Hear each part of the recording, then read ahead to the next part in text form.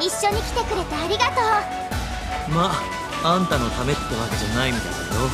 美人に頼まれちゃ断るわけにはいかんじゃろ。結局お宝は見つからずかよ。